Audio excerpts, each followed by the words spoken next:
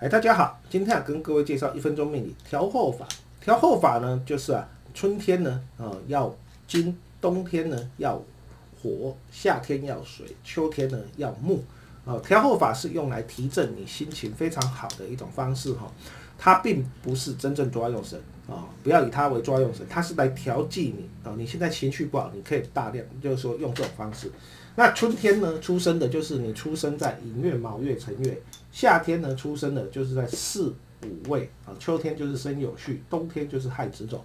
那就是表示呢，你是春天出生的，就大量的要用金啊，身旁用金，让情绪高涨。你是夏天的，就是用水；你是秋天的，就是用木；你是冬天的，就是大量用火，会让你情绪不错哈。